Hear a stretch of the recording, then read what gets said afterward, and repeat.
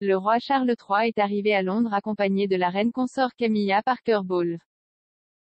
Moins de 24 heures après le décès d'Élisabeth II, Charles III est de retour à Londres. Le nouveau roi a décollé d'Écosse en fin de matinée pour rejoindre la capitale anglaise et Buckingham Palace, où des milliers d'Anglais l'attendaient. Accompagné de sa femme, Camilla Parker Bowles, la nouvelle reine consort, celui qui sera proclamé roi samedi 10 septembre à 10 heures du matin a pris son premier bain de foule. Accueilli par l'hymne God Save the King, entonné par les citoyens anglais, Charles III a pris le temps de saluer la foule présente.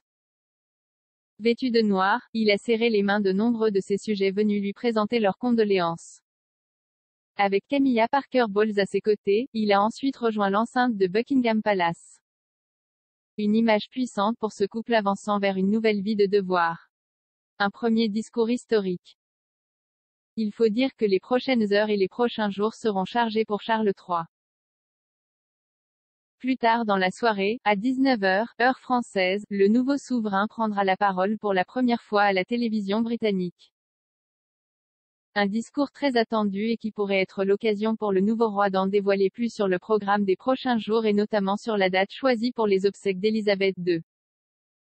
Ce samedi 10 septembre, à 10h, Charles III sera ensuite officiellement proclamé roi.